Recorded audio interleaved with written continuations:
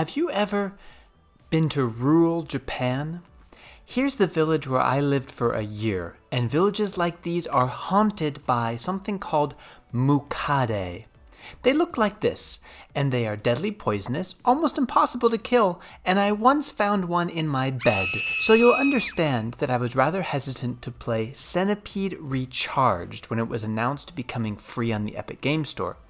But I was relieved to discover and I don't know if you will be relieved, but I was, that Centipede Recharged is not a horror game specially made to send me into a coma.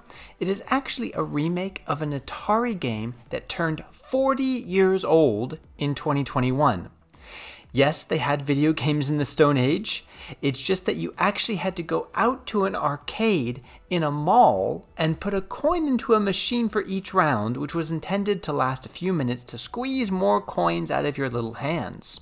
Now, you might want me to explain what I mean by Atari, or arcade, or shopping mall, or, since this is 2022, or going out. If you need any of those things explained, then this game might not be for you. Because this is very much like the original game. It's really an homage to a 40 year old game that is a simple, fast paced, endless runner arcade shooter. What you see is what you get. There is no explore, exploration or any type of different screens except what you see here. There's no levels per se, no beating the game, and very few difficulty changes as the game progresses. And while the graphics are a bit more refined and closer to the action than the original game, this is still very, very retro. So if you don't like that, then this is probably not for you either.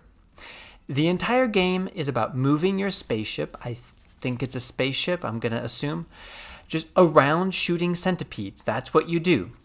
You can move back and forth and up and down to a certain section of the screen. And one annoying thing for me was that the imprecise movements, or I should say, unpredictable inertia of the movement, often made me feel like I was sliding into the enemy after I had already taken my finger off the button. Also, this is a one hit kill game. There is no way around it except in co op where your friend does have a chance to get a power up that will revive you. The number of enemies is also pretty limited.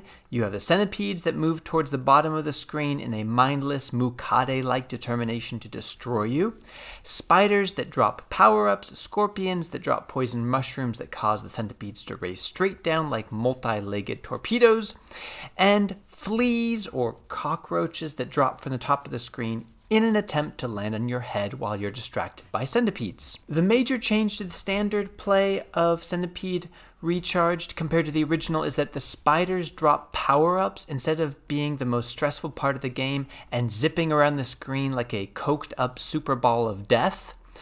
I kind of missed that element, but the power ups are interesting, ranging from rapid fire, spread shot, or even a ghost that scares all the little creatures and makes them retreat off the screen.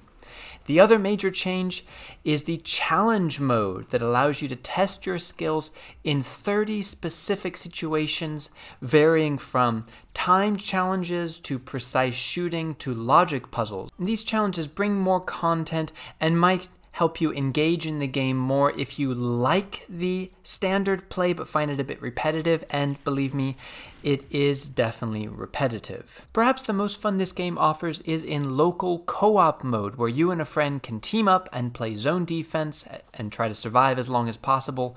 Or perhaps you will steal a power up once too often until your friend decides to box you in with a bunch of hungry centipedes, aka my worst nightmare. So now we come to the most interesting part should you play it? But first, you should know that this game is usually eight or nine dollars, but it will be free to claim from the Epic Game Store starting on March 3rd, 2022. It will be free for a week, and if you claim it during that time, add it to your library, then you keep it forever. And that's what we do on this channel. We play and review every game that is free from the Epic Game Store. So as you build up that backlog of hundreds of games, And if you've been following this channel from the beginning, you should have at least 200 games in your backlog. You don't have to play all of them. You know which ones are going to be the best value for your limited gaming time. So subscribe now to make sure that you are never bored again. There is actually a second game that's free this week from the Epic Game Store, Black Widow Recharged, and my co-host Michael has reviewed that. Make sure you check it out as well. So I've often said in this channel that I don't quite understand nostalgia and that why would you want your game to be pixelated if it could be photorealistic? We all have incredible games to play now. Let's not look back at these quite limited games from the past. This was actually the first time that I felt a little bit of nostalgia because this is a game that I played when I was very young and actually I remember going to an arcade and playing this and wanting to get farther and farther and wanting to to get onto that high score board that at the time was like the only reason you played video games was to get the high score. But beyond that, we have to put this in the context of 2022 all of the amazing games that we have to play. And the fact is, there is not a lot of depth to this game. There are a lot of things missing that I wish they had added. Uh, some roguelite elements would have been nice so that each time you die, you bring something with you so you can get a little bit farther the next time. Perhaps uh, different types of enemies. I mean, I believe there's only four types of enemies in the entire game. They could have mixed it up and made it more interesting as you get farther into the game. And they could have played around with the, the playable area, you know, sometimes making you stuck at the very bottom of the screen, sometimes letting you um, kind of roam around the entire screen. There's a number of things that could have really shooken up the formula.